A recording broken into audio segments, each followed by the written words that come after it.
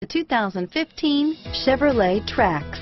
The Trax is tiny on the outside, but remarkably spacious within. It comes with clean and modern interiors. Here are some of this vehicle's great options.